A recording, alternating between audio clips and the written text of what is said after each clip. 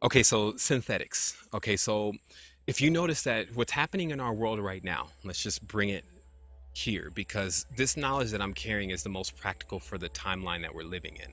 I can go into the Upanishads and I can go into the Bhagavad Gita and many of those works because I've went through every single spiritual work here on the planet.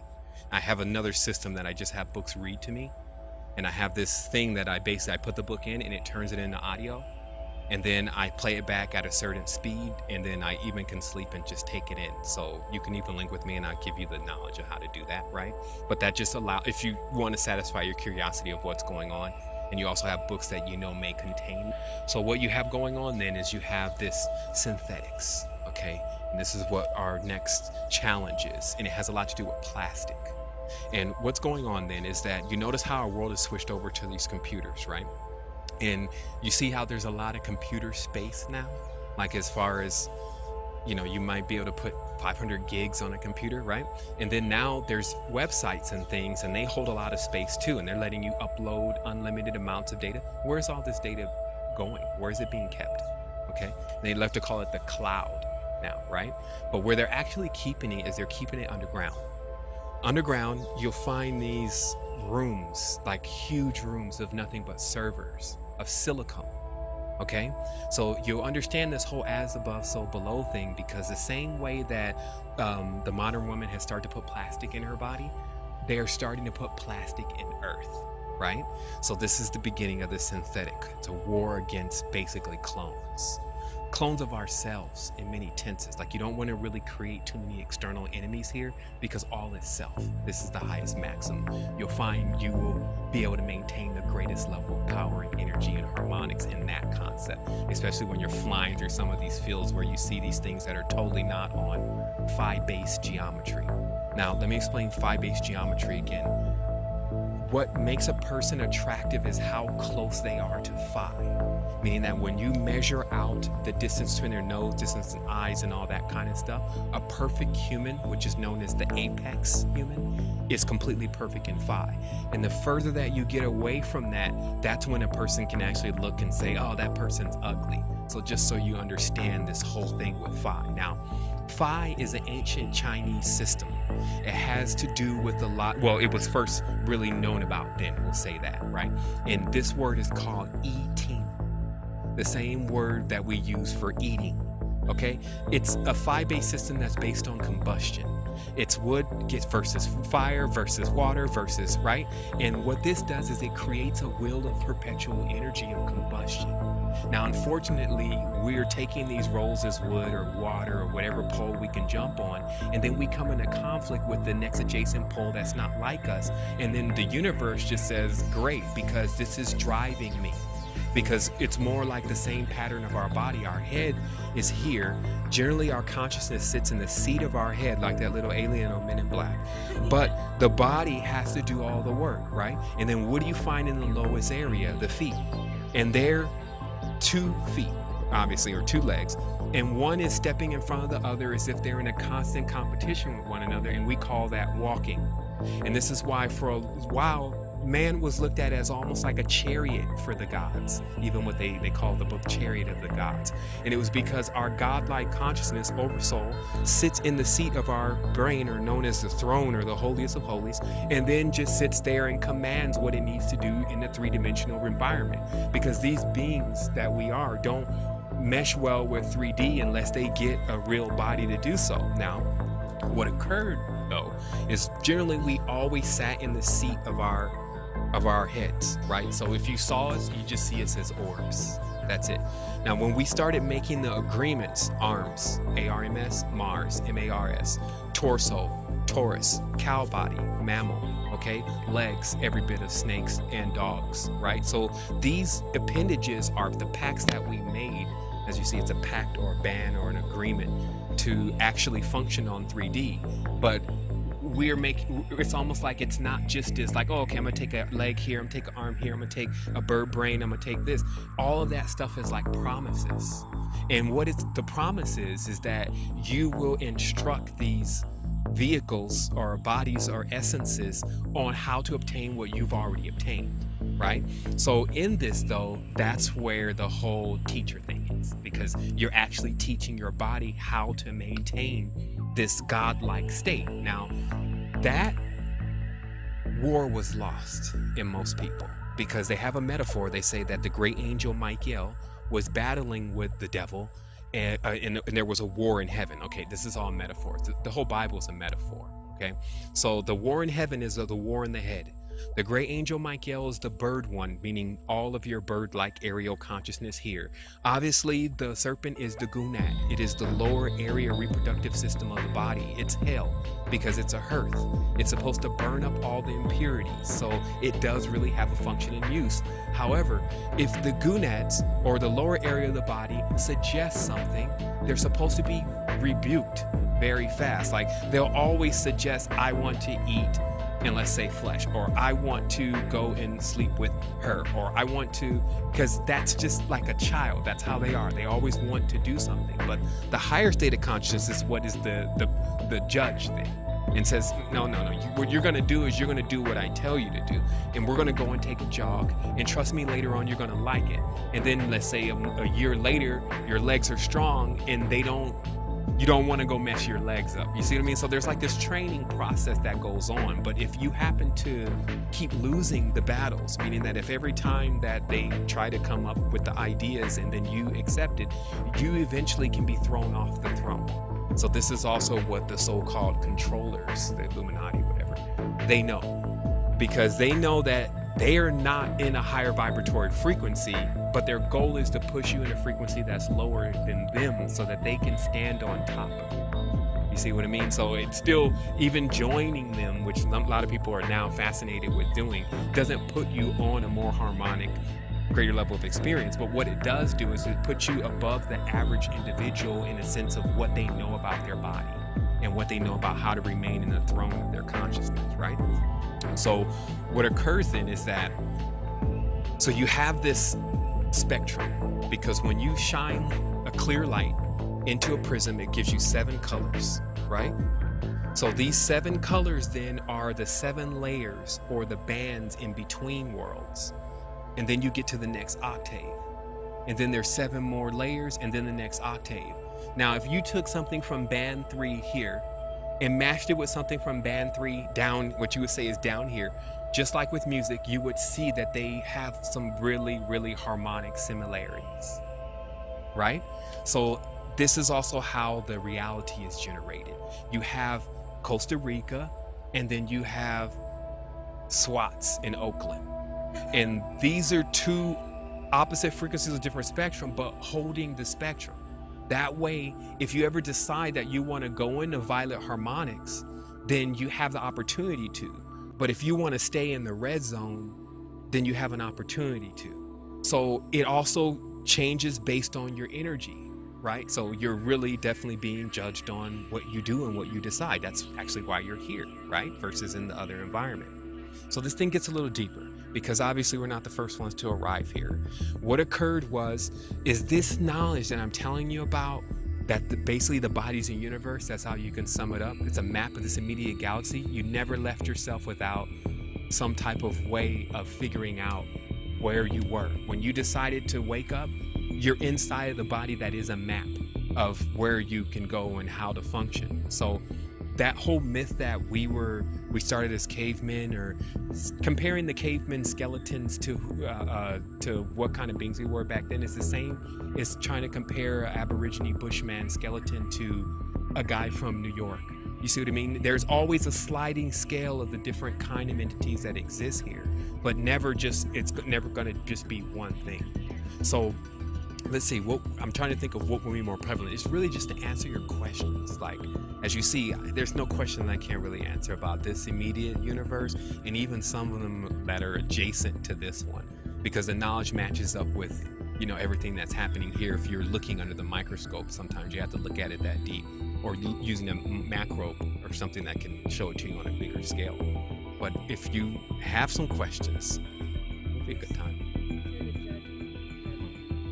the judgment is is something that takes place inside of your it's your intuition it's your uh your moral bearing you know when you're doing something wrong nobody has to tell you that right? It's just about whether you're able to convince yourself of it or not, or to do it or not. And remember, this is the two snakes. This is why the two snakes they come up and they terminate right here.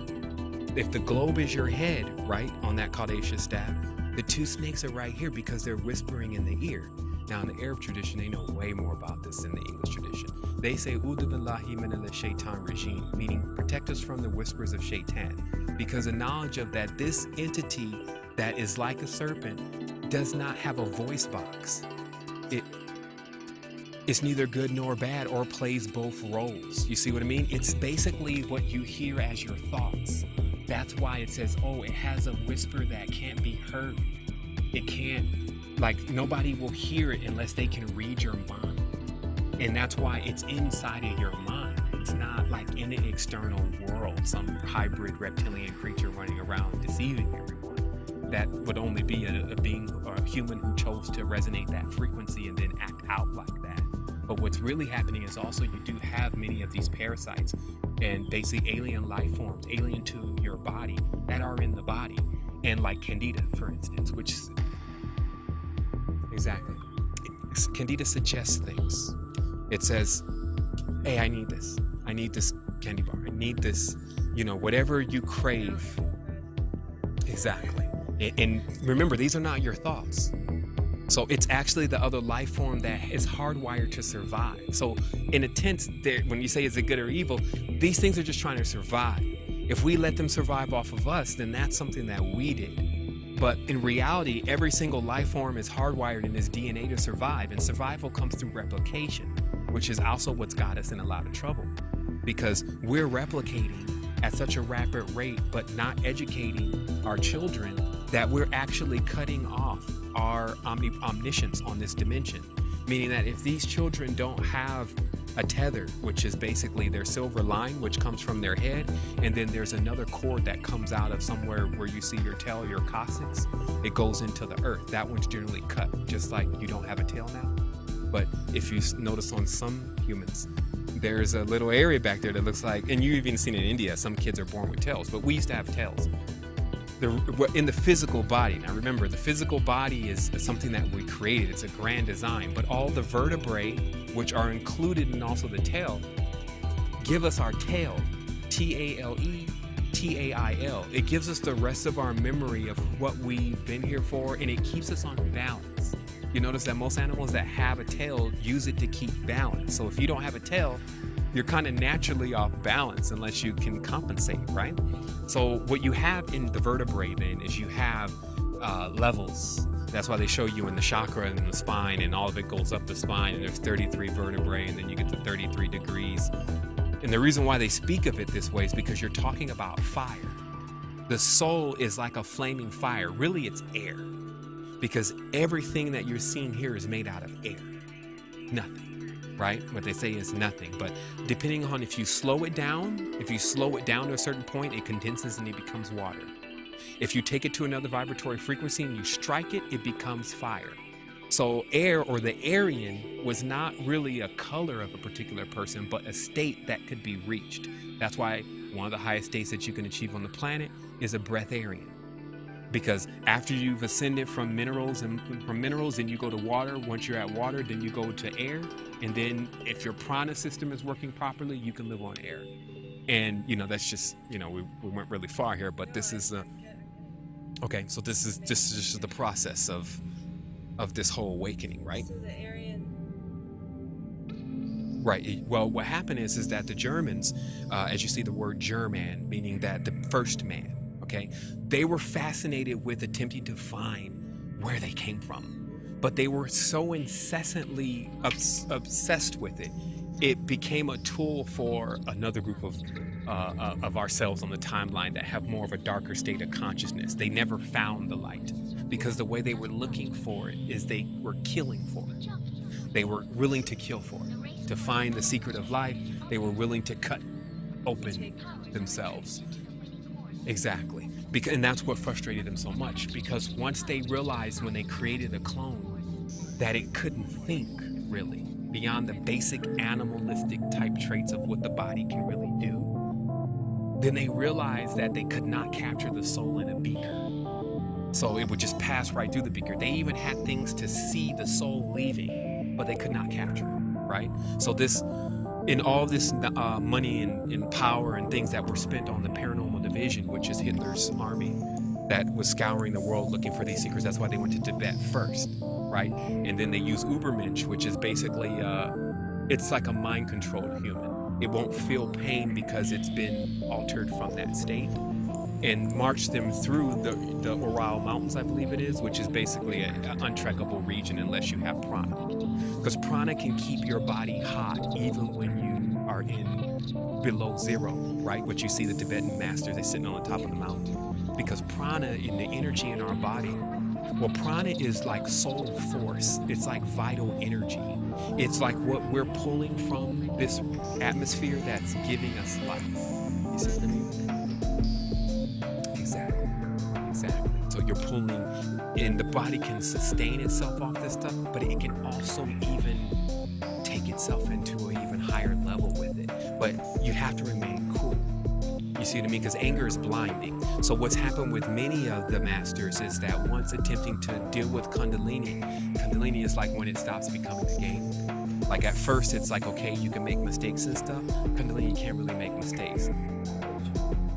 Kundalini then is basically in the base of your spine and the coccyx tucked down and the last bone is you now. It's where the root chakra is, yes, but the root chakra is corresponding to hell. So if you see the tarot card, you'll see the devil there, and then you'll see him chain has two humans chained down next to him, right?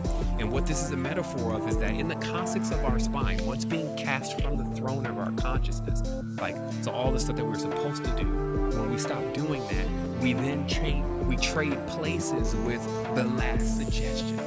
So if the last suggestion came from our lower area, basically below the waist, right?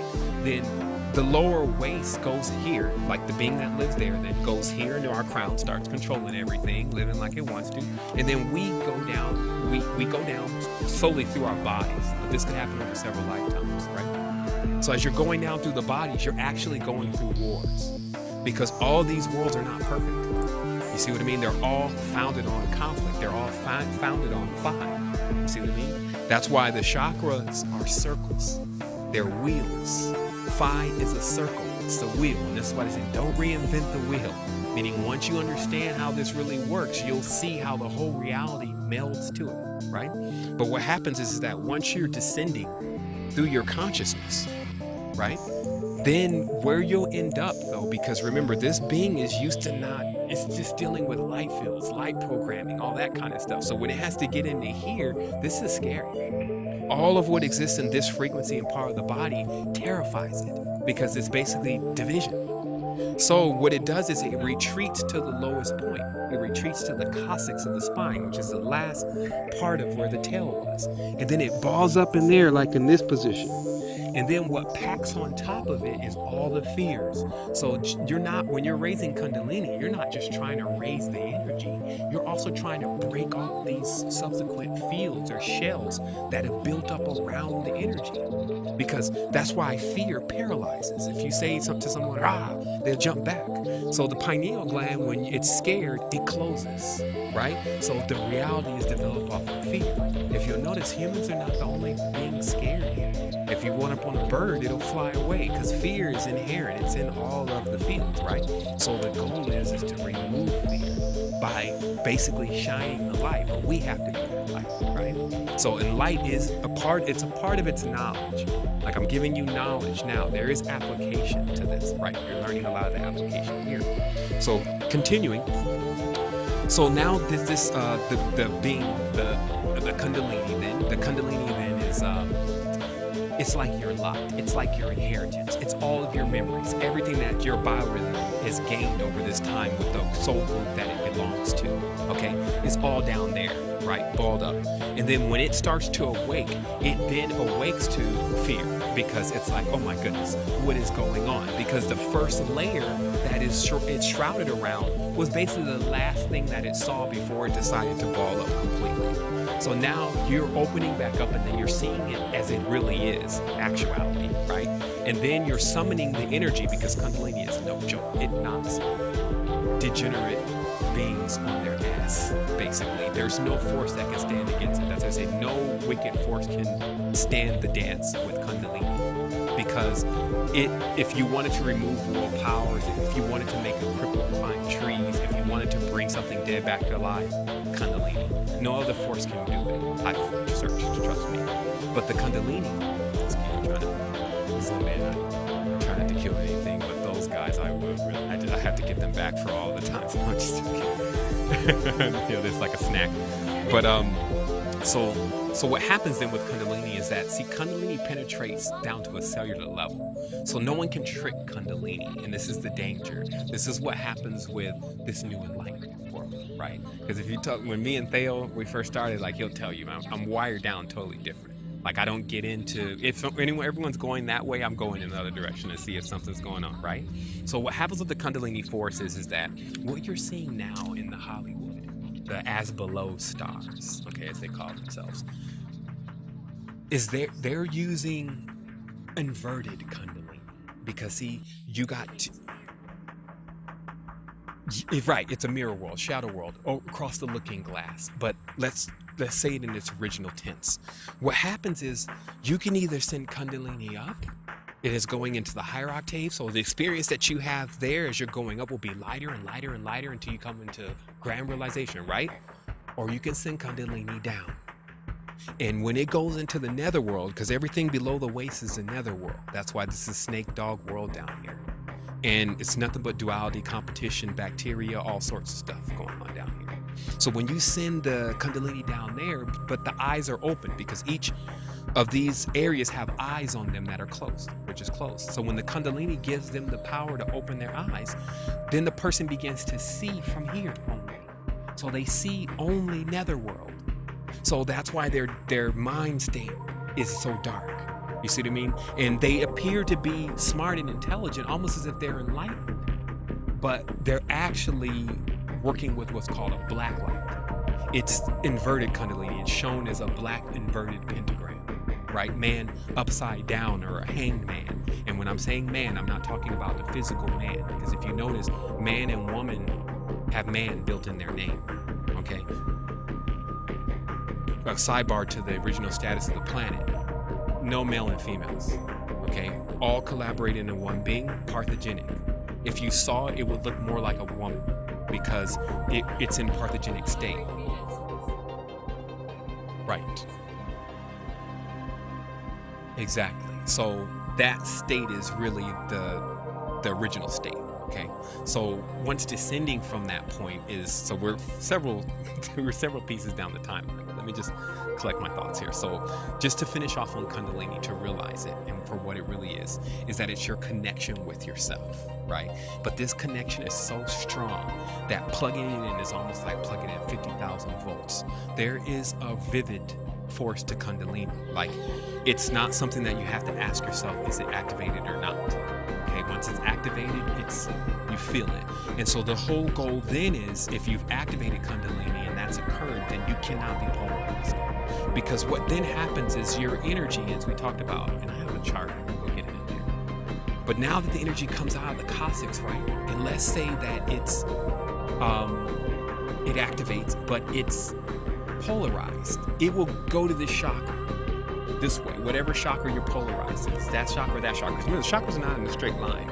They're actually here, here, here, and here. I can show you the diagram. The chakras are never depicted as being, they just connect to that point on the spine. Right here, well, just the, the stomach area. Yeah, that's, you know, that's where it starts because that actually, there's a face there. Like there's there's many people who just work from this area alone, but that's most of where the that's the seat, right? So I'll show you here. My Kundalini, if you've noticed, because Kundalini constantly cycles. So you'll see my Kundalini is here, okay? And this is because, and you can actually see it there, because the Kundalini has a lot to do with our sexual fluids. And that's why for a man, because a man and a woman have different systems per se, but for a man, for him to ever unlock Kundalini, he cannot do that without understanding woman's real role. So you don't see really activated men, right? It's because what happens is, is that if they use their sexual force and it goes down, they've just inverted their life force. You're only supposed to do that in creating life. Other than that, it goes up. Like my sexual force goes up. The more I breathe, the more it goes up, and it goes around and it cycles and it goes back down the spine, right? So that's that's semi-active kundalini. Because remember, when this thing turns on, you just feel cones flying from your hands and feet. You feel like you're like some kind of messiah or something. It's very scary because you're not really used to it. But in reality, we would have to work our way to understanding how to be this stellar being and hold this energy. But it has a lot to do with this balance because as long as the energy is coming up and going down, coming up, going down, for a great soul, everything is great. But if that energy goes to the left, it's going to hit that next chakra so hard it may damage it. You see what I mean? Because Kundalini is a real force. So once it comes out of the spine, it can smack right into a chakra and break that one. Right? And it can then go from and if but if it keeps ascending, it can go to the next chakra. And it can go to the next chakra. But remember, chakras are passwords. Well, not necessarily, no. I mean you don't want to break it right? But chakras have been damaged anyway. Like this is after. Like each one of our chakras sustains a certain level of damage when we are debased in that particular chakra. You see what I mean? So really the Kundalini force has the ability to heal and restore that chakra. And some of these chakras are attached to our physical ailments, like diseases and different things that need to be fixed. But it's because that chakra center is no longer working but also chakras connect to organs. So this is why you'll generally find that organ failing on that individual. But this is also another way of actually repairing that situation is by dealing with the chakra, not the organ. You see what I mean? But, you know, different ways to do different things. You can come at it at different angles. So if you really see it, you have a mental body, spiritual body, physical body, at least. Or just start it there. So you have to triangulate yourself. You have to figure out mentally, spiritually, physically, where is the greatest imbalance occurring? And then start to work with that too. Because a lot of people believe that there's no physical correspondence to enlightenment. Like you don't need to work out basically. But there's a constant oxygen implosion that needs to go on. Your blood is a fuel. So it needs that oxygen in order to actually begin to pump that kundalini through and basically not just pump it through, detoxify because only hot blood can remove the worms. Now, there's another part of this which is to talk about the serpent, okay? the old jugger. And they talk about that the original state of this planet, that there was an entry into this planet by um, what was known as uh, like a like a you would see it as like a meteor, right?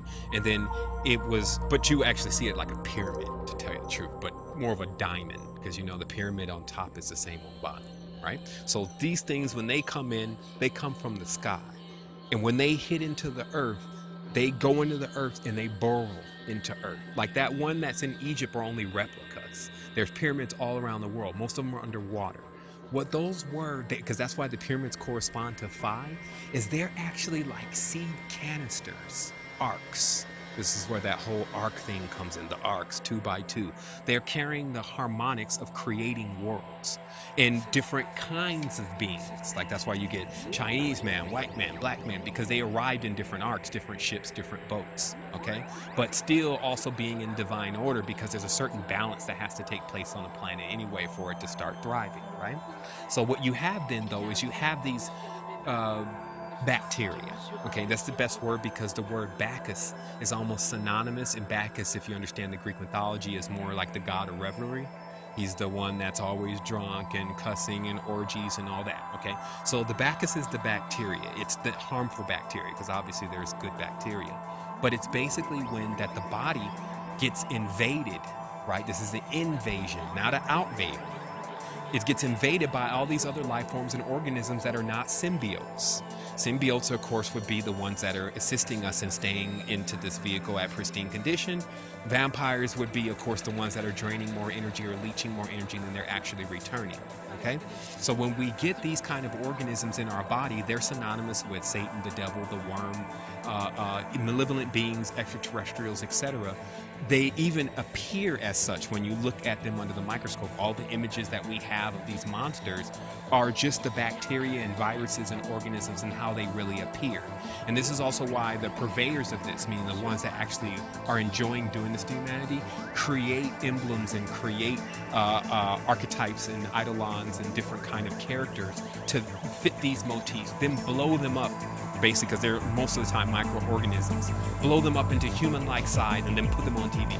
And then, exactly, metaphors, but ones that are speaking very deeply because they actually resonate with the individual. There's something there that corely sits with them as being true, even though they don't understand why, right? And this is why sometimes they get these characters in their mind and then they're being terrorized by the character. But really, this is something that's going on inside or in the innerverse, as we call it, right? So remember, the the innerverse then is now the universe too, but it's inside but in conflict. Because if you drink some soda, man, you just went to war with the liver. The liver's not gonna be able to take too much more of that kind of behavior before it strikes back. And then likewise other organisms, and so basically a huge conflict, the mind's never focused, then it leads to the situation of what we witness here in the world, right? So in just to nutshell that whole story again, just to, to focus in on what Kundalini is, is Kundalini is the force of activation within the body that gives it a vivid level of power to fix things. And generally, these kind of individuals are the rarest breed because to hold this level of power without getting stuck in a chakra is very difficult.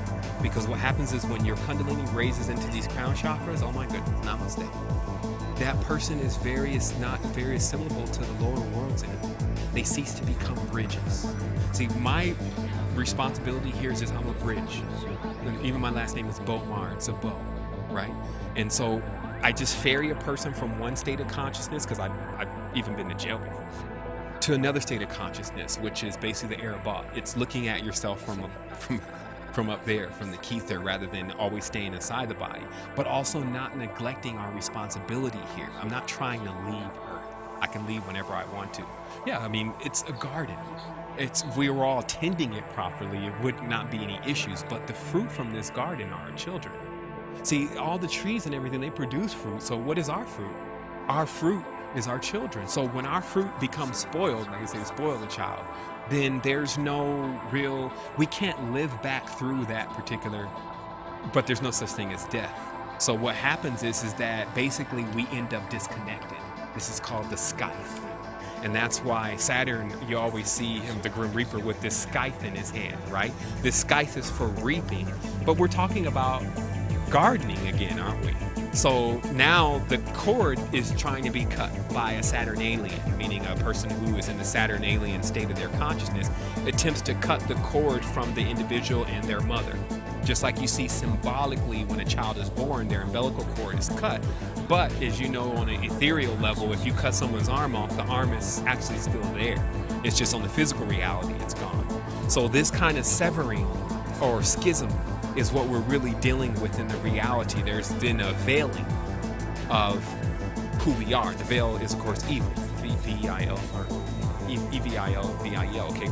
So when you want to know, well, what's being veiled then? As I say, the whole mystery is within the words and within certain cultures because you'll go into more of the ancient systems, the ones that are still adhering to the Abrahamic tradition, which is of the Brahmin which is with his wife Saraswati, nothing to do with uh, Hebrews, but more of an ancient tradition about Brahmins, right? So what you're dealing with is when you see the woman veiled, you see them saying they're not going to tell you the secret of the divine feminine, which exactly. That's what you're doing, and it's a hell of a process because it actually involves just as much as you understand about this earth, like what you can extract from that plant over there, is about as much as you understand about your body.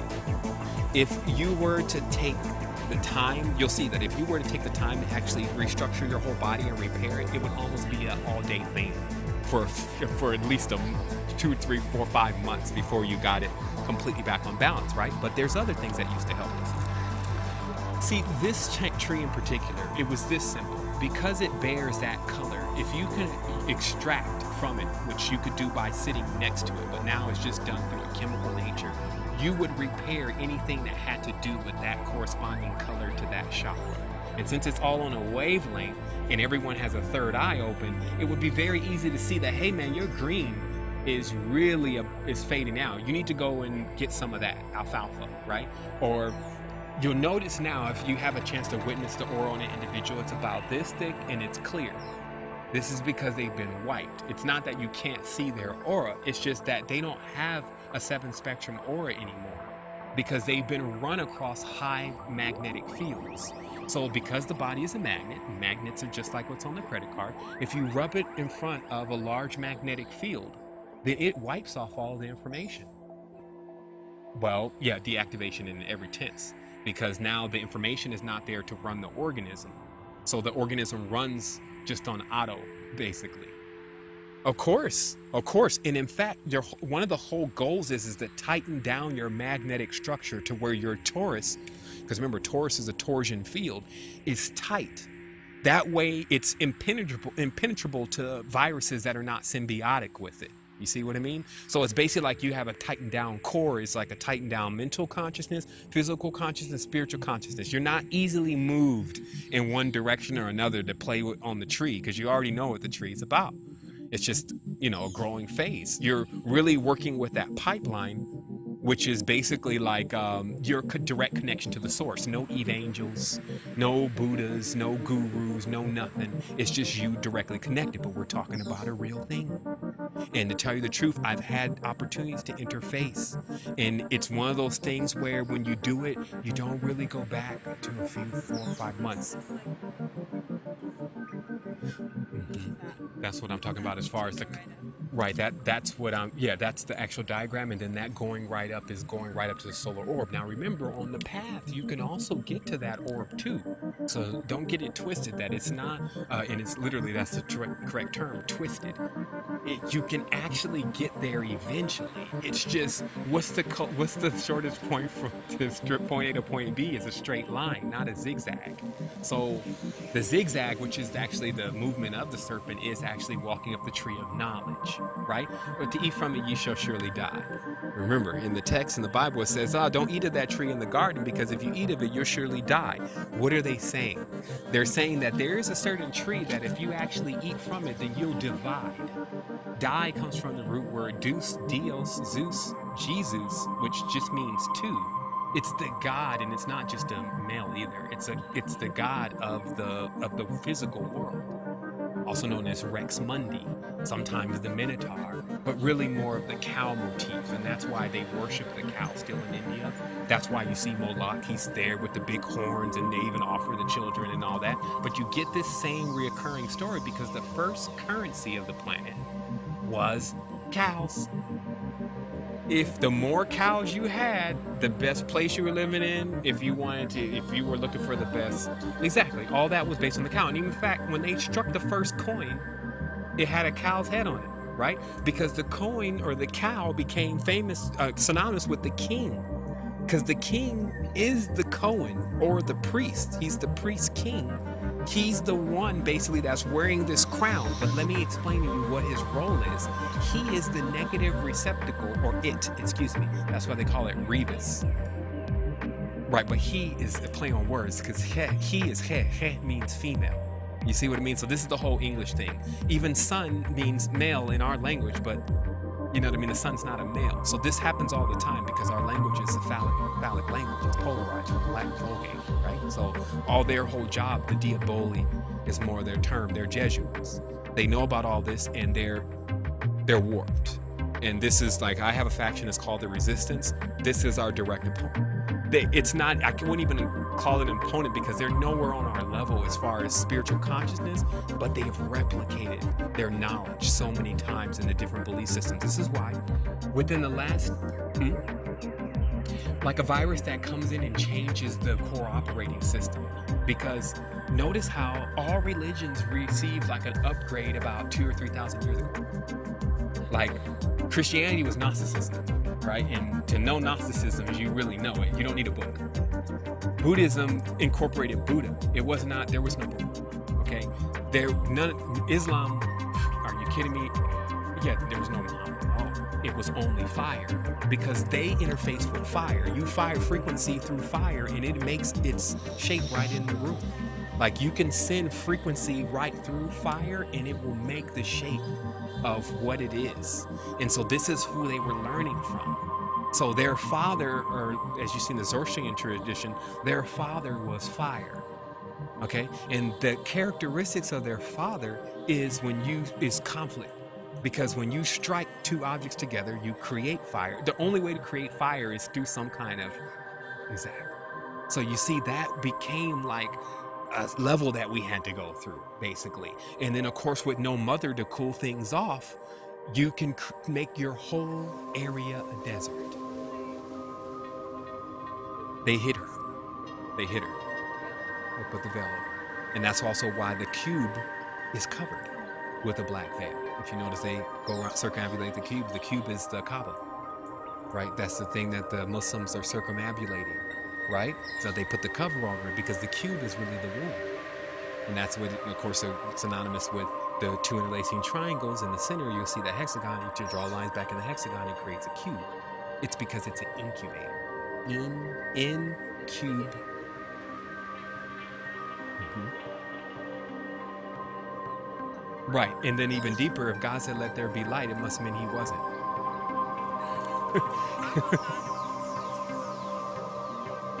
well, they've been tainting light. Like Venus, I've had a long relationship with Venus, and um, realistically, I started realizing a lot of stuff was Venusian because it's next door.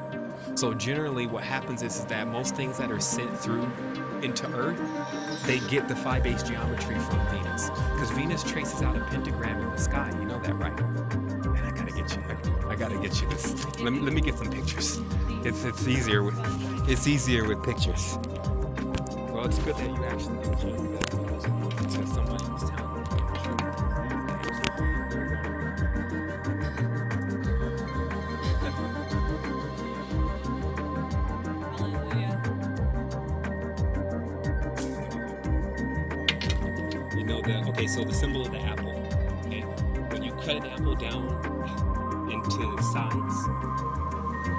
it makes a, it's a five seeds inside.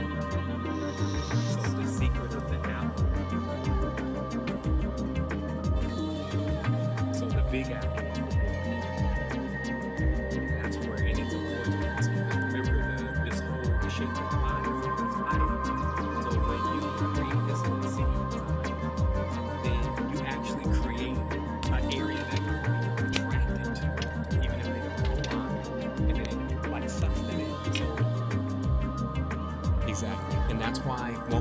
Live there, it's very difficult for them to leave. And that's why also every city has a downtown. Because if you understand, if you looked at it from a topological standpoint, you'll notice downtown is always down here. Right? It's in the center of the vortex. And generally, there's designs and things that they put into the city in order to, to create this. And this is what masonry does. And um,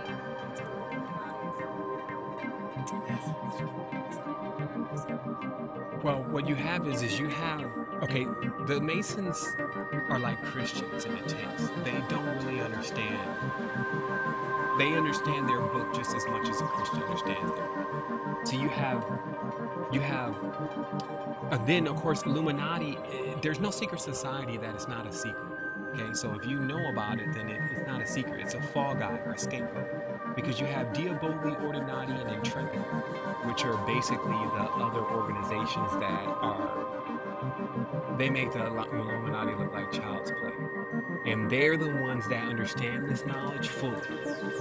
But actually, they also understand, they have allegiance to the king. Okay, because so let me finish this whole thing about the king. So basically, you have the sun in the sky, right? And then on planets like this, you have this recept you have a receptacle, meaning you have a place that's collecting light. And obviously, if you have large solar bodies like Rigel, Aldebaran, Betelgeuse, these are G5 class suns, right? You have to have some kind of receptacle for this level of energy, right? And that's the king. And that's why the king is like the epitome of, of evil because he's created and it's created the physical world as we know. And the money and the, the materialism all the mas okay? Because if you think that mas are is our term for our mother right? Right, but it actually is a term for matter and mass and material, more so physicality than anything. And so you can see how that becomes synonymous with your mother, but in a tense that if you understand the whole motif, of course, the cow produces milk, the mother produces milk. It becomes our substance. So who's giving us our substance? Who's now producing what's giving us our substance? Somebody is taking our mother out of the way and then put Circe there, which is where we get our word church from. It's Mother Circe. Mother Circe is like men with wigs, men with, uh, like the judges, they wear the robes, okay? Let me see if I think I got Circe's picture here. But basically, what Mother Circe is, is it's the idea. Here it is. Okay, so this is the Mother Circe. okay, so basically, the idea here is is that you see the beasts? The beasts are basically the animalistic nature. They're tamed. This is the open door of the church, but the church has now become a place for uh, what they would call like uh, more like spiritual prostitution. It's a communion that takes place between when every time a person walks into a church, there's a communion there. There are spirits there. There are angels there, right? They're really eidolons, though. Eidolons are the idea of something. They're not. It's the shell that remains. And I have an excellent video about this that I'm going to transfer onto Theo's computer, and maybe you can watch this one because it was like the coalescing of all the work from the last four months because I just took like a big break off of everything, and uh, just to kind of you know clean out the spaceship, yeah, and just get everything together for the next round of this because it's gonna you know it's gonna be very much more impacting even than before. Not like it hasn't impacted things, but so what you're dealing with then is you're dealing with this uh, a surrogate mother. Okay, so the king steps in place with this synthetic currency. What he does do, though, is because this king is obviously connecting somehow back to the ancient Chinese empires, the dynasties, the emperors, right? It's that old samurai, that kind of thing, right? We way before we touch down here in this particular vehicle. But how, what you're dealing with then is you're dealing with that everything that they found in nature, they just created their own. And so, really, when you walk into a house, obviously you see the TVs. The TV is like the eyes, the satellites are like the ears, the chairs are like legs. All you're seeing is just parts of the body all around, but not a complete body. Exactly. It's taking pieces of something. It's like Narcissus. You're showing people images of themselves, but never letting them know, hey, this is you. You see what I mean? And so what they did is they created a system that everything that they found in nature, they just bought it into an externalized synthetic way, and then they gave it to everyone, and everyone eats off of that, and then they become fake. So the same thing with the king. The king controls the currency. So all the money, that's why it says, in God we trust. That God is the Germanic God whose Gud is the name. Gud is the word we're using for God. That's why when you go into other or the supreme being. Because when you go into other cultures, they God becomes Allah, or it becomes something different in their language because it's specific to the tone and vibration of the entity in which is being evoked. Gud evokes the German God who's Herne the Hunter. So basically, this God does not really like humans. This God is a hunter. It, it keeps dogs to as far as uh, what's um, it uses the dog as its um, as it's uh, how can I put this? Well, it goes well. That's why God is dog backwards, but that's also why it came from the land of Canaan, which means canine, right? But it's canine, right? But the, these dogs became a portal, just like monkeys became portals. All these different, even the iguana, for the people who live here, are their portal. If you understand what's going on, the lion was a portal for also groups of people. What a portal is, is that when you come into physical realities, you don't sometimes start off as a human. You start off generally at the vibratory frequency in which you can hold, and you make your procession from there. So all of these these different organisms you see are basically vessels that allow the the form to mature to a certain extent before it sheds the vessel, which is what we call dying. And then its spirit gets attracted to another light, and that light is when two opposite sexes are coming together in cohabitation, it can see that light and then it rushes to it and it can do it so fast. So, how reincarnation on this planet generally comes from the oceans. Most of the life forms, before they choose other bodies, reside in that that what they're calling water, which is salt water. And if you understand, salt is one of the only elements that come out as a cube. then you'll understand that, okay, wait a minute, there's a connection here. So you have these souls that are in the water, in the sea, or in Mary, okay, which also is synonymous with Venus, right? Even the word amor, meaning love, is the son of Venus, okay? So she comes forth, Aphrodite, from the foam of the waters, okay? What this is all saying is, is that these spirits, they can see very far because it's something that you learn about your senses. Your senses you don't get six cents, seven cents, eight cents, nine cents, ten cents, right? That's going in the wrong direction. You're actually gonna get more stupid that way. Your senses collapse to where you first sight and sound collapse first, generally when you're going into the high vibration, right? So this now means you can hear see, right? And hear seeing is anything that's making a noise, you can actually see it because you can see the tube from it to you. You see what I mean?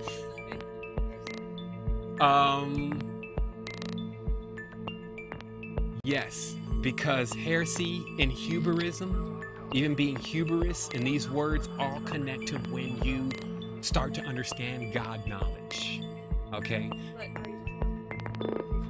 we're talking about we're talking about uh, we're talking about supreme being knowledge. I'm glad you denoted that, but we're talking about supreme being knowledge because the gatekeeper, God, the guard dog okay, is there making sure he's spinning around like a fiery cherub. He's really like a snake wolf. right, chasing his tail, right? Creating conflict and keeping you away from the tree in the center of the garden, which gives immortality. Now, the tree in the center of the garden is synonymous with why Earth's been here for billions of years. It has the secret to immortality. So if Earth's been here for billions of years and we're trying to learn how to actually sustain ourselves, not necessarily in physical bodies, but sustain, we could easily learn it from Earth if we weren't so busy learning their twisted variation of what they say. Well, Earth doesn't need saving. What it is is that Earth is basically you got it's a time clock. Either you ascend at a certain point or you see the results. You see what I mean? Like Earth gets to this stage because it shows like another mirror to its children. Like you need to save me, basically, and so it becomes something individual. You see what I mean? And I'm gonna explain this very carefully because when I say Earth doesn't need to be saving, I'm not need saving. I'm not saying that we don't need to do great things to restore the balance here on Earth. I'm saying that to understand, for everyone to understand that Earth is a very, very powerful being. And if it wants to ignite or call one of these other beings that it's birthed along the timeline, because let me explain to you.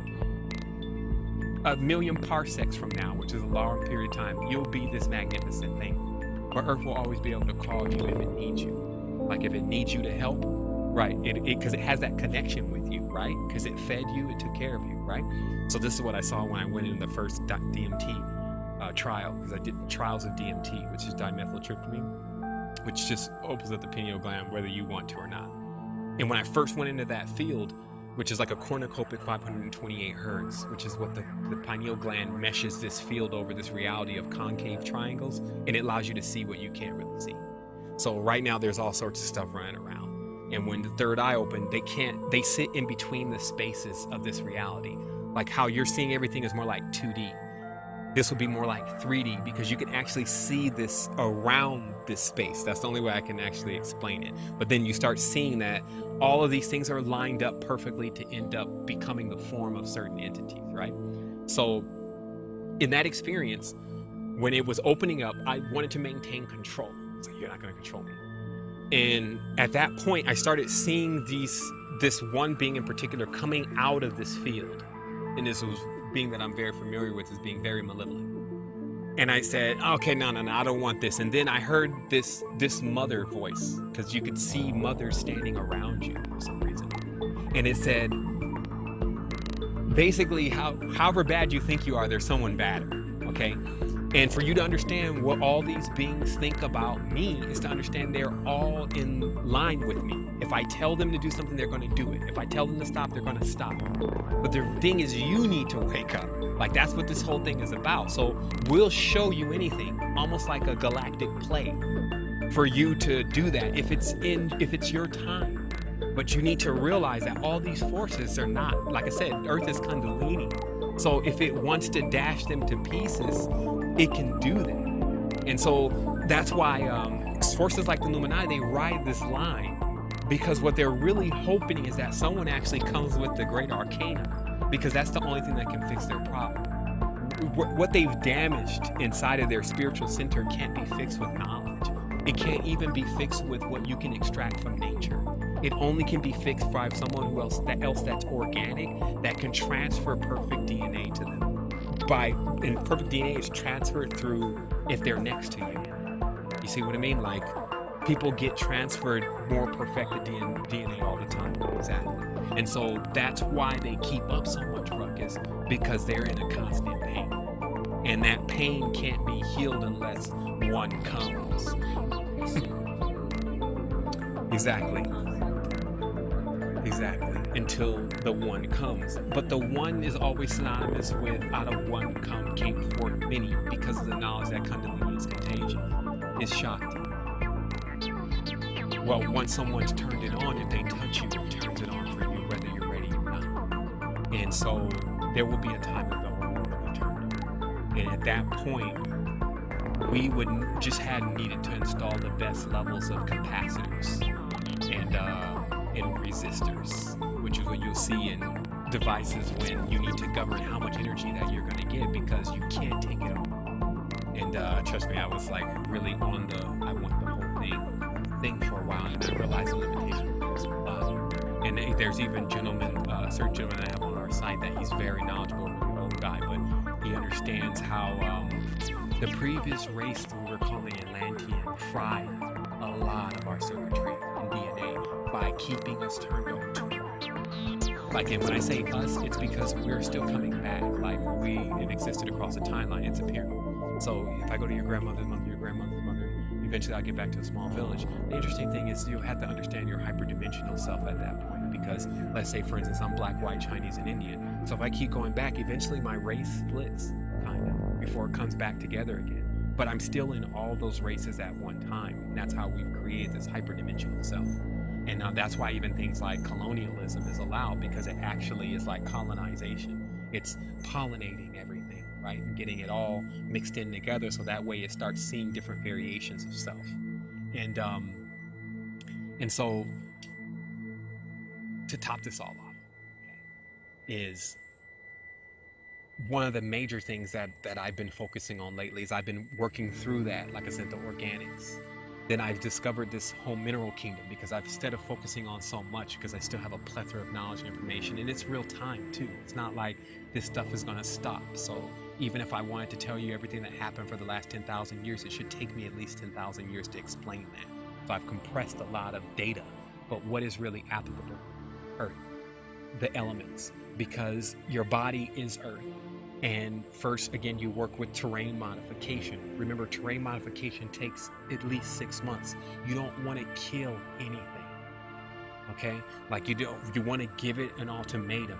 As you're going through frequency, the worm has a choice. It can either choose to metamorphosize itself or it can be get past, right? Like it can leave, right? But if you go in and kill it, you can actually damage yourself. And this is what you'll see with people who have been, they have larger worms in their body that cause disease. Then you, or cancer is actually etymo- etymologically meaning a snake. Can is means as the indigenous version of a word for snake. Sir, sir, sar, sor, sir are all mean snake. So when they say, hey, sir, good day, sir, it means good day, snake. So remember, there's a whole serpent cult worship thing going on. It's been going on for a long time, still continuing. Earthworms are earthworms are snakes. and these are the parasites that are Uh, well, newsflash is the human is actually a snake. If you pull, if you pull it right, the dragon. Oh, I, I tend to fight. but uh, but yeah, it's uh, it's basically uh, the cosmic, the whole cosmic serpent thing. But again, you know, you have different kinds of snakes. To say every snake is evil is just as silly as saying every human is good. So just you know, same thing with the bacteria. So what you have is is you have the archetype version, which means what it kind of stands for overall, which is a sheath. It just covers things. Generally, like a what you put your sword in, That is that was known in the Arabic language as synonymous as the snake. And this is why you can see that any god that was ever inside of the universe wasn't in power. It's only outside the universe. Right, exactly. So you- how can you control something and you're already inside? Right? So we're inside of its well, Shapes. These are just people. F- uh, well, shed. Well, that's metamorphosis, and that's you know coming from this into a cocoon, which is that that that uh, phase in between, and then metamorphosizing into this, you know, this uh, the next level of our existence, which is overshadowing you now. This is another thing. Different different dimension because it has different different uh, geometry or lower vibration. Because remember how the shell works is how you're living is building the shell now and they discovered this when they took um they took a tap hole. And they put the tap hole in the water. And then they put this electric field around it like a magnetic field. And then they looked underneath electron microscope and they could see the frog around it. So this showed that the next metamorphosis for the tadpole was already there. It was just not visible by the naked eye so the next metamorphosis of who we are to become, we're going to become different things. They're going to keep moving up or moving down, is already overshadowing us and is constantly being shaped by us. And this is why you get statues, right? Like a statue, like the Buddha statue, is the last shell that the Buddha left. Okay, but he's still an eidolon. He's an idea of what he was like when he was here, where he was here, right? So this next metamorphosis is which is already overshadowing us is being wholly built by the invisible workers of the body. So these workers are shaping, molding, and then that shape, remember, makes a sound because sound equals shape equals color, right? So this is emitting something. The brass ones emit a lot. But the thing is, is that the brass statues, they in stone statues are very difficult to get rid of. See, that's why you find the forefathers carved in Mount Rushmore. They are immortalizing themselves in stone. And this is why you'll even see certain occultists carry around certain stones that are carved and shaped because these carvings and these shapes and these curves, they equal like basically uh, jump gates or keys to the biorhythmic connection of that individual in the timeline. And so, and you have this going on. It's like the whole idea of the Horcrux with, with Harry Potter. It's just having these different things that are resonating or holding your energy, and then having people get in touch with those things in order to make some type of level of contact with you, even after you've left the dimension, right? But they're not contacting you anymore. This is where the world is still leaning to learn this. This is a part of their darkness because they have a lot of eidolons that they're talking to that need, first of all, this idea of a guide needs to be changed into a beacon because a guide becomes this separate character at times and Hermes and, and people start to worship these characters. But I, I don't understand. well, well, let, let me finish explaining. But in the theory that all is self, which is not a theory, it's something that when you go into mathematics and you go into physics, you'll see it everywhere. All is self. So if you're worshiping one part of yourself, you will end up becoming polarized to that part.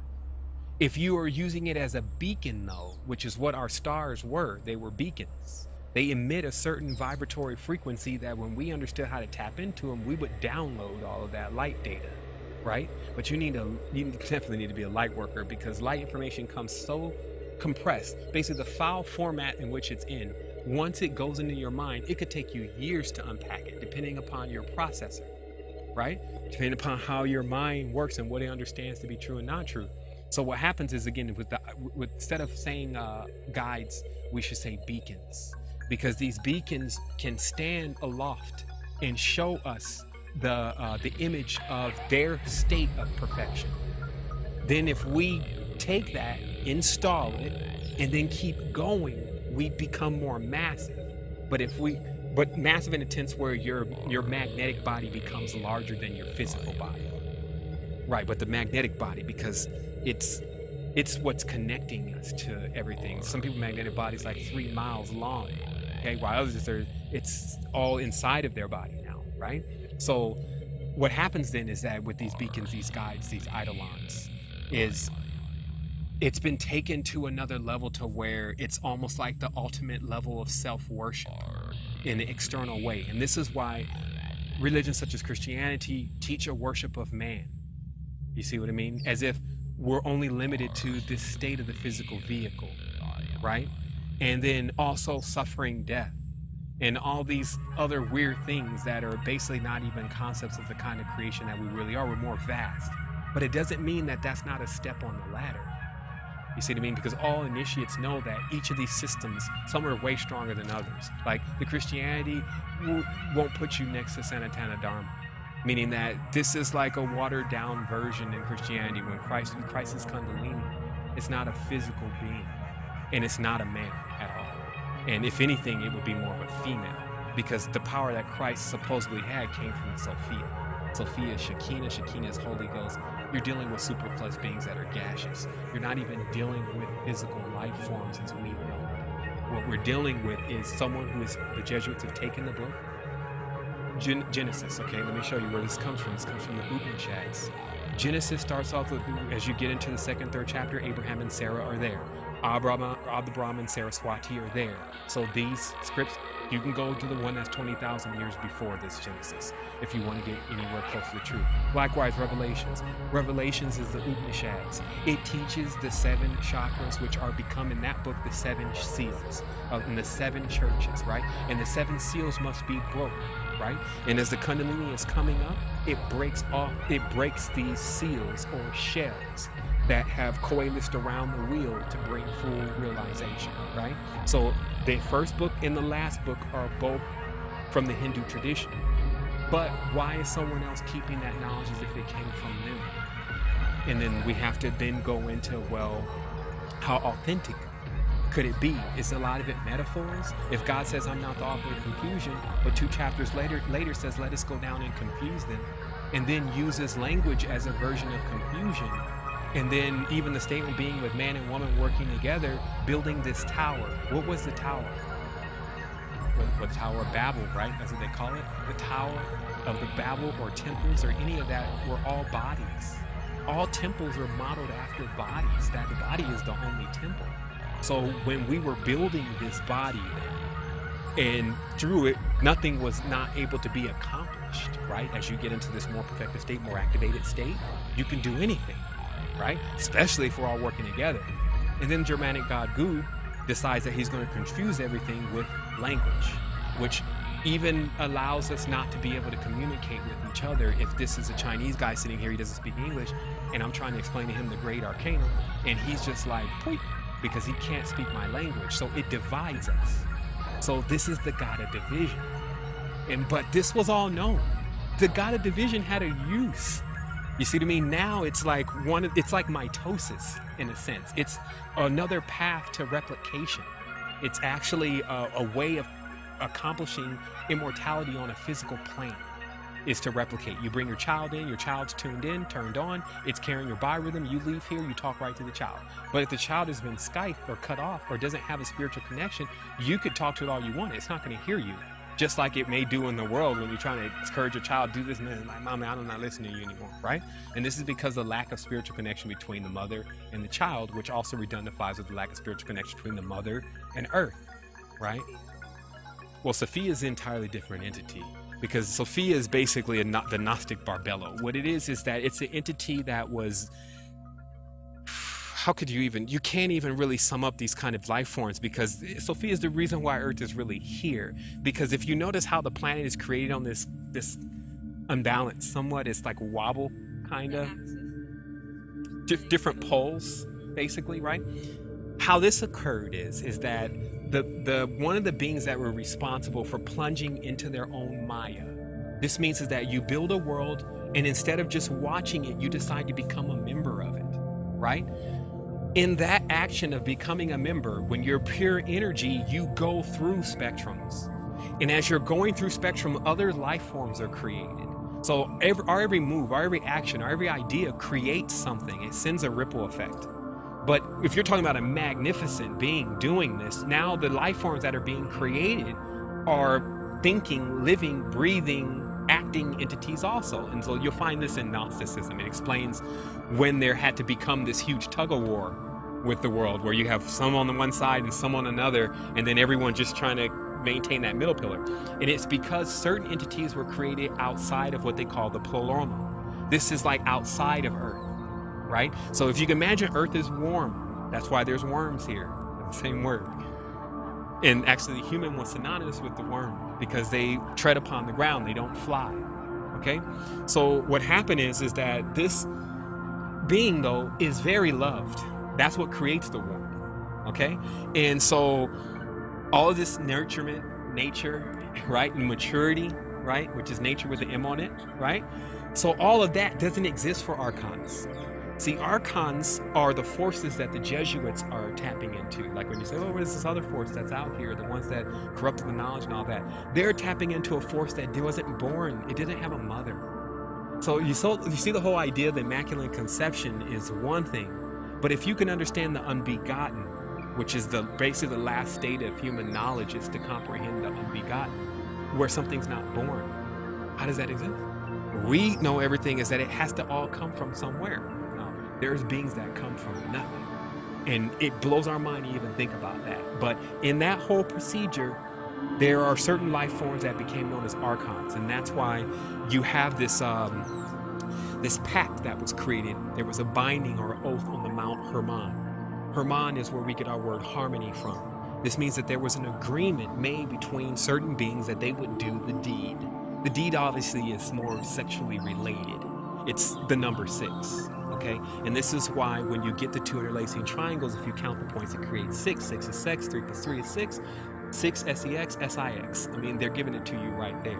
So the actual copulation process, which is uh, what I would say is as a god or supreme being, copulation and reproduction is one of those things that you don't really have as much control over as you would like. This would be like a human being when birthing a child does not necessarily have as much control of that child as they would like. As they say, it's like a bow and an arrow. You can do your best to shoot it straight, but once you let it go, it's going to go in its direction. So the best thing you do is shoot it straight. So what you deal with then is that you deal with a group of beings who don't like that. They don't like different. This is why you see in the queens, the queen in England, she's the real Venusian reptilian queen, going all the way back to Orion. They do tea at 12. They have antiques around. They're still wearing the same coats that were worn from four or five hundred years ago from their ancestors. Nope, they don't like it. They can, but they don't want to be in a field that they don't have control. So you see how the whole loss of control thing comes in again, which is uh, definitely uh, the greatest coalescing of fear in itself, but it also keeps you from making your spiritual progress. That's why we were talking about the Kundalini thing being a completely uncharted realm that most people don't want to go into because it creates a lot of non-control. So what happens is, is that they stay in the mode. They understand fire. They understand the pentagram. They understand a lot about nature and synthesis. There's two things that you have to understand. Synthesis. This is when you can take uh, things and create things with it, basically, from the elements, the basic compounds. Then extraction, which is when you can actually pull out the essence of something from it okay? You know, which seems a little strange in itself, right? But has a lot to do with cologne and perfume oils and, and medicines and all that, right? So we have that force, right? Which doesn't like to be out of its element, okay? And has figured out the system that becomes almost like a, a map in itself over the immediate universe, which is the pentagram. Okay, so they can mesh that over everything and they can see exactly how it works and what they need to do and all of that, right? But then there exists universes without phi-based geometry, right? And the entities that look there don't meld to phi-based geometry. Even some of the planets that are around us because of their orbit don't meld to phi-based geometry. Meaning, so if you go on that planet, you're not going to see life forms that look anything like us, right? But what we'll find is, is that some of these insects and things are actually what would be existing on planets, but in our status. You see what I mean? So, going on. What you have then is you have the ones that don't like change and then the ones who love change. Now, for us, we fuel off our change. We fuel off of our ideas. We fuel off of this this idea even that the world can even be better, right? But for that to happen, we know that it has to change. And so that's our whole arena. We're the only ones that get a kick out of that. The controllers, they don't. And so this is why, of course, they created the Facebook. They created. See, that's the other thing is this creates synthetics too. Like if you don't like changing, right, then you have to synthetically remain alive after a while because you're missing your next step, right? You're agreeing to not go into your metamorphosis, right? So how are you going to stay here? So you get the idea of the vampire then. Because the vampire is the only one trying to keep the physical body forever. Forever, ever? You really want to stay in the limitation of the phi-based vehicle? Not even just jumping in and out of one? Let me show you the, the real state of planets like these. This planet, if as certain decisions are made, which were already made on other planets, everyone's a throughput. There's no one's holding energy. The energy is passing through us all. There's no close. C L O T H E S, close, right? There's none of that, right? So this is also in the beginning. You see synonymous with this whole uh, thing where they have to Adam and Eve have to put clothes on. Then God says, oh, what, are you putting clothes on? Who told you about that, right? And so what this is a metaphor saying is that because when I send the energy out somewhere to a person, they may hold that energy right? And not distribute it to the one adjacent to them, then that creates a bottlenecking of the energy. So this is the same thing with knowledge. If someone finds out something great, they're excited for a moment, and then when it comes time for them to think about if they're going to reveal it to everyone, they start thinking of if they can make money off of it. They start to think if someone's going to steal it from them. And they start to think about all this stuff that basically means no one knows about it. So this is, or not too many people. Maybe if you can afford it, you get to know right? So this is what creates this stagnancy within our species because we're actually not really sharing. We're only giving our waste to other individuals. And well, if, if some of us still know the truth, but what I'm saying is we've gotten so much into this habit of only giving what we don't want anymore, not so much as what is most valuable to us. You see what I mean? And so it's a whole different thing. And actually, it's the reversal of the equation. The reason why I'm where I'm at now is because I got to a point where I realized I was doing this up down thing. I was getting really wealthy and then I was losing it all. And then I had this deja vu. I was looking into the corner of the wall and this deja vu lasted about five minutes. And then that's when I got the whole, yes, Sevan, you know, you need, you got too much weight, so you're going to wait. You're trying to get light. So you need to get light, etc. Blah, blah. And they say, oh, yeah, it's in the words. The words are backwards backwards. B A C K W A R D S, W O R D S. Your world, W O R L D, is in a world, W H I R L. And if you keep playing around in this word, these words, and no, don't know how to add an L or a God, the God in yourself, then you will never know how to create a world because the word becomes world when you add an L. So, and then it's like, okay, but you don't even understand. This whole thing is wired down. Now, remember, at this point, I thought I was talking to God because I used a certain formula to get to that stage of consciousness. Later on, I figured out, it took me two years, that I was actually communicating with my oversoul. And the formula that I was using was none other than the simple elements that were hidden in the riddle of the Sphinx. Meaning the ineffable name of God, meaning the name that's not supposed to be pronounced, was not supposed to be pronounced because it meant man. Man meaning, of course, woman and man, as we were talking about, right? So here it is. In the beginning of the word, the word did not come back void, meaning that the first thing is this word is real. It really exists. It does things. It does not not work. Okay? In the beginning was the word. The word was God. The word was with God. So the word is God then, right? Okay, but then God says, let us make man in our own image. So what's the word? And why does it become ineffable? Ineffable means it cannot be pronounced. You should never pronounce it. It should never be uttered. This is what the, the Hebrew tradition teaches. The real name of God is lost. That's what they say. Even the Masons say it's the lost word. We're still trying to recover it. And what it is is that they are hiding the secret of the of one, the tetragrammaton, which is basically a, it's, it's the cone. It's implosion. It's actually what is the four elements earth, fire, wind, water, the Sphinx. Okay? So that whole knowledge has been taken away. It was forbidden to even use this knowledge without punishment okay? Because it's actually one of the only things, as we talk about Kundalini, that can remove and dispose kinks. You see what I mean? Because in the face of the word, I mean, in the face of the truth, nothing can really stand if it's a falsehood. And so, this whole knowledge, again, that we're talking about, that we've had this whole conversation about. Yeah. This was what it, this is the secret. The secret is us. We're universes. No matter how long it takes us to figure this out. The organs they play as planetary spheres. There's more than seven. There's more than seven chakras. There's thousands of chakras, right? Each of them function as an eye. But sometimes some people have unlocked Kundalini, but in the lower one. That's called inversion. This creates a Madonna. This creates a, um, a, a Jay Z. This creates these kind of individuals because, yeah, they seem to have succeeded. And then when you understand Kundalini is connected to currency, but then you're like, oh, they're not spiritual. They're extremely physical, almost to the point where they're into the nether of their spirituality. And because of that thing I told you about in the beginning with the elite, or so called elite, or elite is the term, meaning very light on energy, not using your own energy. Notice they use other people's energy. They don't use their own energy. They're in the high levels of energy conservation. They don't even spend money, to tell you the truth. They don't even use the money. They don't touch certain things. They have other people touch it for them. You see what I mean? So that whole way of not wanting to give, see what I mean? Not wanting to see what happens different, not wanting to see or not wanting to see life, right? And just the whole fear of what it may happen if they lose control.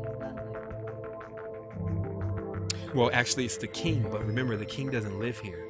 So the queen is basically the um, she's the they call it S, SST Orion Queen. She sits here in the throne to manage the spice. The spice, of course, is how they're capable of seeing into the future. This is the soul force that we emit, vital energy, as we talked about, something similar to Kundalini. It's what can be extracted from a human, like them being juiced. And this is why you'll see churches are set up on these ley lines, uh, amphitheaters and stadiums. If you understand the geometry that you're dealing with, you're dealing with basically vortex geometry. It- what happens when a person gets super excited in there is that all of the emission that's coming off of them is being pulled into a vortex. And that energy is then coalesced there and generally not used. Some people say, oh, are they drinking it? They're using it? It's not compatible. It's not symbiotic with them. But they just want to drain it because that means that person has less energy. You see what I mean? And this accomplishes their overall goal of lowering the frequencies. And so that way they can always seem as if they're higher because you're basically just, you debased everyone. You made everyone feel so low and so imperfect. Now your distorted level of perfection actually looks entertaining. You know? And that's all it is entertaining. So giant juicing stations. The temples are more dangerous because the the amphitheaters and things tend to be just to drain energy, but the temples are sending that energy to certain beings, and that's why they have bells. Because bell also is synonymous with the word Lord. Lord means to be lowered, to come down, like the God that's been brought low, and that's why you'll see that the moon is the Lord. It's the first step on the ladder, right? So this is why most people never get past Christianity their carnal pleasures because both of them are connected. They have to climb up and then they climb up to the moon first and then they see all of that there, whether it's the white snake or the black snake. Because remember, each planet has its poles. Every planet that you'll see will have a good side and a bad side. If you're going to be on the tree, the thing you want to be on is the positive side of the tree. Right, exactly. And then so that's how, like, many of us have agreed to do that. Like, I run around the tree all the time. It's not like I can't go the solar path, but it's like in immortality, what else are you really doing? Once you come to the full realization that you're just in this forever, the main thing is to get more access. Okay. And so this is why it's important to give people the information because each person comes from a different constellation. And so wh- when you actually give them the information, you get a pass through their constellation. Like you won't be seen as an enemy when you're flying through there. Because remember, the whole earth is coiling and stars are all coiling through space. We're not the sun's here and that. No, it's like this. Right, and it's going somewhere. We're never going to be in the same place. But this also is what creates misfortunes for individuals is that when they go through constellations in which they're not welcome because they have not done any tilling and gardening in that world. So they're seeing you more of like a hostile threat than they're seeing you as someone that actually is symbiotic. And so this happens in a well, more like when you're in life and then certain things start happening and it's, you know, just time of the year and you're like, oh, it's this time of the year I have this problem happening. It's because that's, you keep going through that part of the constellation and you haven't made your your peace, or actually we call it wholeness, because peace is a very tricky word. How could you ever get right? Not at all. So peace has everything to do with pi, pi has everything to do with phi, phi has everything to do with division. See, so it's It just rolls upon itself. And that's really what Ouroboros is. The serpent eating its tail is when the knowledge and the information connects to the point where it just all keeps turning and twisting upon itself. And you could just keep going with it. And that's why it also became, becomes a map because if you understand how to do the as above, so below, where you can connect everything, then you don't really find yourself with no answers, right? You just find yourself needing the time in which to ask yourself the proper questions, which generally occurs at around 3 4 o'clock in the morning. You know, that's really that that perfect uh, balance point. Mhm, mhm. Mhm. Well, Kundalini is is basically it comes in degrees, because remember you're talking about fire here, like in every tense of the word. This stuff like Victorious, you cut some you cut somebody's hair on fire. Like if the Kundalini is moving through you, oh my goodness, you're running around here. Like if it's coursing heavy. Okay, so let's let's just explain it for what it is.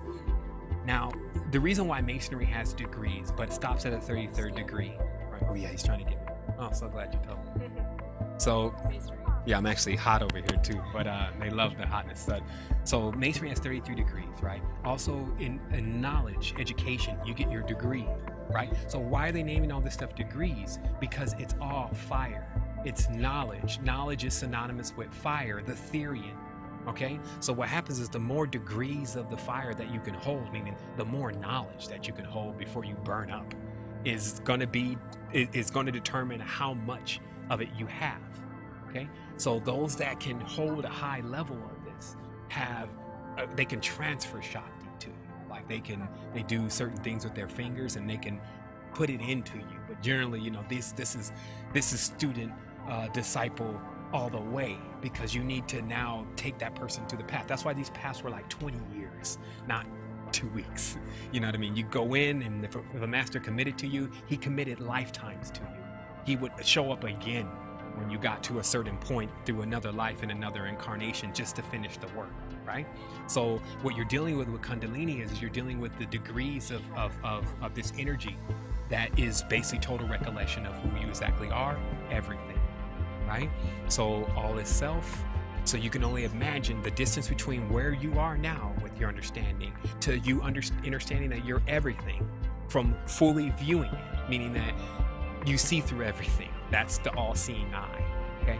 The Kundalini is all the way now up in the crown chakra, has now opened up the cornucopic field that existed. 528 hertz is now spinning like a wheel, meshing over the entire reality, allowing you to see everything so nothing is hidden. There's nothing sneaking around, no little machine elves in the woods, none of that anymore. And then that total realization, and then also installing all itself, gives you a magnificent level of circulation because you see just how magnificent you really are and how connected you are. And then things actually respond to you. Like when you come close to other organisms that are organic, even synthetic carbon based organisms. Carbon and so the other thing is to, to understand plastic is not fake. Like this is another misconception. Plastic is real. If you put plastic next to carbon or, or silicone, excuse me, next to carbon, it attempts to try to communicate with carbon. So what happens is is that this plastic thing that we've come into now, which has become our current, it's our currency. That's why everyone's using credit cards now, and we're coming off of the trees, right? And then Exactly, but before we were on the minerals. So actually, what's happening though is our currency has become weaker because now we knew it was gold before, but actually it was mammals first. We were using the cow, right? And then we keep oscillating through there until now we're at plastic, some of the most basic, simple life, right? So that's why you'll see the world also go into its degenerated state because what it's using as its current or currency becomes something more synthetic, more synthetic, right? So as we go back into our original way of transferring between each other, which was not even so much as barter, but it's abundance. It's like when you're producing basically what we just need to live, it's abundant on the planet. Actually, you don't really have to do much. Earth is like a big permaculture in itself. It keeps producing. You can see what I mean? So when we're back onto that, when we're only utilizing the things that we actually really need, not the stuff that is just replicas of ourselves and not even very good ones, then we actually can reach that state where we now become self-substantiated.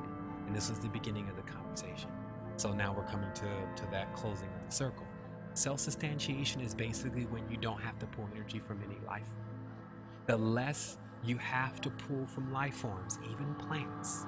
You know, uh, vegetarianism is definitely better than eating meat, but still remember it's it's good, better, best. So what happens is moving away from these dependencies, getting into then the water. There's the minerals. Remember, don't forget the mineral kingdom because that's what's going to show you how your body can create its own protein. Like notice how everyone's running around. I need protein. I need protein as well. Cut it out. It's just the body is no longer in a status where it can actually create its own protein because it needs that al- its alchemical cabinet full in. Meaning that the body is the one that's mixing up Cheerios and making it back into energy. Not, you know, the, these people. Exactly. Well, in every tense, look how the body knows how to take certain uh, certain substances and metamorphosize it into something that is actually symbiotic for our bodies, and we can turn it into energy, right? So, it, where is its cabinet then? Like Theo has that cabinet in there with all the stuff, right? So what you'll find in the body's cabinet is that certain elements are completely depleted, like cobalt, right? It's not even assimilable to the system if you just get this in B12, they say, right? But cobalt lasts a, a, a minuscule amount. They can't even measure the cobalt lasts for five years because the body knows that if it ever goes without cobalt completely, it actually is called mental insanity. Okay, that's where a lot of insanity comes from when the body has no more cobalt left because it hasn't been able to extract it from anything. It can get it from certain things in nature, but remember, it's few and far between.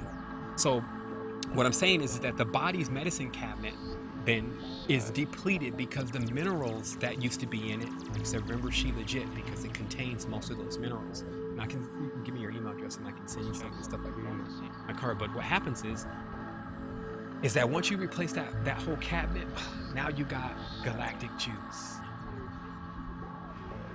Through minerals, exactly. You're getting the you're getting the direct mineral. You see what I mean? Like Shilajit looks like a black tar. It melts off the Himalayas, and it contains basically 85 trace minerals, right? And not we're not just talking about trace minerals here because you can go and buy those, but this is natural occurring trace minerals, right? So you put that into your body, you get higher conductivity. That's why gold and, and platinum and all that stuff became so popular now, especially because it's of its conductors, exactly. And all this stuff still being designed right after the body. So what is the conductivity of the body? It's its mineral base. So the mineral base, higher conductivity, greater levels of communication, but also pure levels of communication. Because what happens with chakras is chakras get dirty.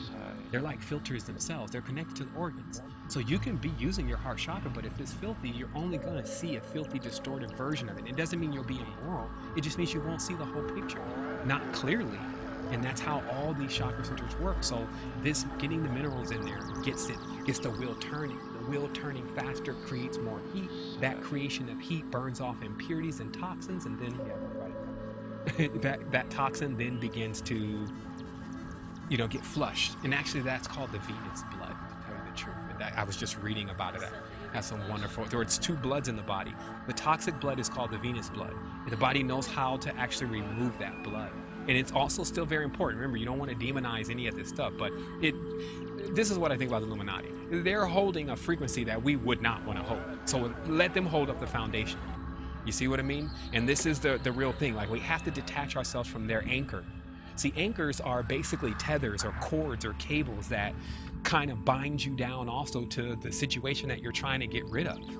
So if you fill your mind with too much of this stuff and not understanding its role, then it could become your Achilles heel at times. It could become what your energy begins to be used to manifest, right? As your Basically, well, your kundalini can even come up, but what happens is if your if your kundalini is high, but then you send all the power into Illuminati as being the controller of the world, and you see what I mean? It's like you just sent energy to them, like it's all see. You, yeah, you gave them power, and the the energy itself is like a check and balance system. It's something the universe does, and it doesn't need to be told to do it. And that's why if you help someone and assist someone, don't look for anything in response. It's coming anyway. It's not something that the universe. Uh, oh, I forgot to pay you. you know, it doesn't. It doesn't do that. But it, but but a two a two way street with even what you do can you know cause you have repercussions as you speed up. Now let me explain this. When you speed up, then That's why you want to make sure that you're harmonic and on balance because now you're flying faster. So if you happen to hit something, and this is what we were talking about with Kundalini, when you wake Kundalini, you want it to go straight up into them and all right around. You don't want it to zigzag because if it knocks into one of those chakras, knocks that wheel offline, then ping pongs into another chakra, you're going to find yourself off balance, right? So this is all about why the controllers stay in stone. Like they're at, they're in stone all around the world. If you wanted the quote unquote controllers of this reality are in statues. They're not in physical, they pass physicality. They're now crystalline. Because remember, the stones are also synonymous with crystals, right? So you don't see very, you see very few crystal statues. What you'll see is granite a lot, and you'll see different kinds of stones, right? But what this is, is that it's like I said, it's a holding of a particular frequency. And a lot of our monuments, like the pyramids and things, they're holding certain frequencies. And that pyramid that's in the desert, when that thing is covered with water, there'll be another one on the side of pyramid. That's why the whole phi-based knowledge system is embedded on Earth, because all the structures that are here have been made to survive Earth's continuous cataclysms. And then when it rises from the water again, everyone will look at the pyramid, realize it's a pyramid system, that we all did come and descend from a certain point. If they get more knowledgeable, they'll realize that phi is encoded within the harmonics and frequency. And then if they finally get the grand epiphany, they'll realize that these actual temples are aligned to Orion. And, and, and then if they look at Orion, they'll see it's the hourglass, which is really, you know, that whole, and, and you it, well, it's actually, it's that, that vortex field, right? Which is where life continuously can come in and come out. So it's just a birthing womb. Like you have people from Orion and, and you have people from other constellations, but you'll also have all those people here. On every single planet, you'll find a hyperdimensional correspondent to yourself. So that's why when you wake up here, you wake up on all subsequent dimensions. Some people believe that the oversoul is in this higher state of consciousness. The oversoul is in the same state of consciousness that we are here, save that it's in a field that is still calculated on a higher vibratory frequency, meaning that you go one dimension higher than this, you can fly. It's another spatial. It's what gives us that extra dimension. We can actually go up with our own ports. That's why in the dreams you may see yourself fly, right? But just because you're you're activated here, I mean, just because you're if you're not activated here, you're also not activated there, even though you can fly. You see what I mean? So it's the same thing on that higher octave, as they're calling it. If it's not balanced in there, you're just you could be the king on a throne somewhere, but still in that same state of mind that you are in five, six floors down on the different octave or wavelength. So when they wake when they wake up, it's all happens synonymously, and that's why I say it creates a pipeline. And then once that whole wake up thing, this is something that everyone does, and when they do it, it connects them with when I talk about where the sky is no longer dark. All the stars are not trying to shine in their own light. Like, oh, look at me. I'm I'm brilliant. There's no way they can. It's not even like a thought. Like it's like an orchestra. You're not even trying to get unfocused because you may mess up your on your time to play your instrument. Exactly. Exactly. And that's why when one person is removed ancient stories, man, they really the truth. But what happened at a certain point was the one we know is Jupiter, who's the dead, who's the priest. Okay, he's you know the red eye, missing one eye. You ever see them say you're finding a, following a blind guy because this guy's only got one eye. You'll see this motif everywhere in the movies and stuff like that because it connects back to the one who was in the orchestra but did not. Um, there was a reference that we gave to each other. That's what would happen. It's like it's like the namaste thing. Divine being recognized mind. Okay, one of these beings didn't do that, and another one became offended by that and removed itself from the quadrant. And then at that point, everyone never saw it as the same again. It was like even though they would meet, they were like, man, if there wasn't nothing like when they were here. And so I think that this is also the recalling of planets. This is why you see messiahs and you know solar beings and all these different entities coming into these quote unquote lower worlds and rousing their their uh, counterparts and saying, "Hey, man, it was not their woman is not it's still not the same without you." We've gotten to the point of realizing that separate exactly. Or it never be as strong. Like you or exactly it won't be completion if it's everything it'll be everything but completion And that's why it's so matter. No, even if it's scummy Illuminati down there, I'm still gonna have to go get her. I'm still gonna have to go get her because I see in that individual, and I just see that being further on the timeline. That's what I say. If you show up on a certain part of the timeline, there's no telling what may be going on. But where you really want to take people is outside. Because remember, all of this stuff, even five, has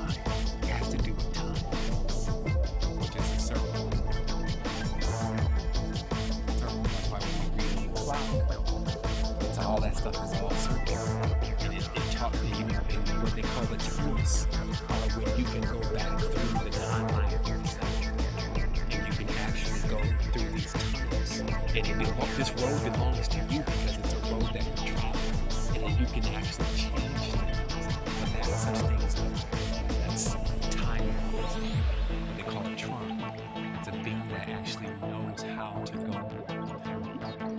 why in the Hebrew see they worship Metatron. And that's the code word that Metatron is given because Metatron is really just a cube. It's a word that causes a collapsing within your chest. Right here in the chest and the solar plexus becomes, uh, well, first it looks like an hourglass, and then the hourglass collapses onto its collapses onto itself, creating this field. But it's really not like a Star of David. It's a straight line. It's, con- it's concave. So the exactly. So it looks more like more like that. You know, the triangle. And this is very important, especially when you when you get way up.